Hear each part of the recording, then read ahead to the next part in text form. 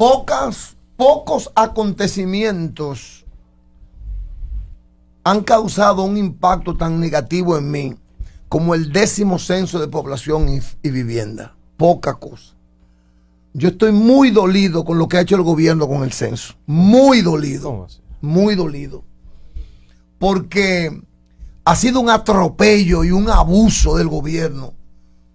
Una falta de, de, de, planificación. Es una chercha lo que ha hecho el gobierno con, con este censo. Imperdonable.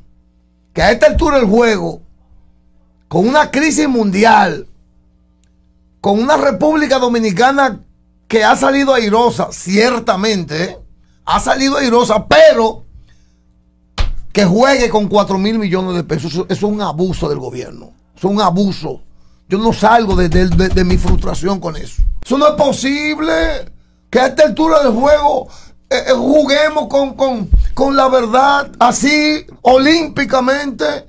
No le han pagado un chele cuando eso no era lo que lo, estipulado así olímpicamente. No, pero el Estado tiene que revisarse. Este gobierno del PRM tiene que revisarse. Luis Abinader Corona tiene que revisarse. yo no puedo permitir eso. Pero ¿cómo es, señor? Un censo. Entonces, las preguntas, una torpeza así, de esa magnitud. Pero en serio, pero ellos mismos, los mismos empadronadores, no entienden el sentido de las preguntas. No estoy hablando por mí.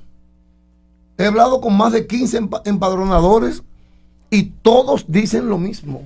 Pero te, lo dicen callado, porque ellos no pueden hablar. Todos dicen lo mismo, ni tan callados. Delante de la prensa. Porque ellos están indignados. Ni tan callados. Porque ellos están indignados. Entonces yo estoy muy decepcionado. Muy decepcionado, porque yo pensaba que el espíritu era otro. ¿Cómo le van, cómo van a hacer este tollo? ¿Y por qué?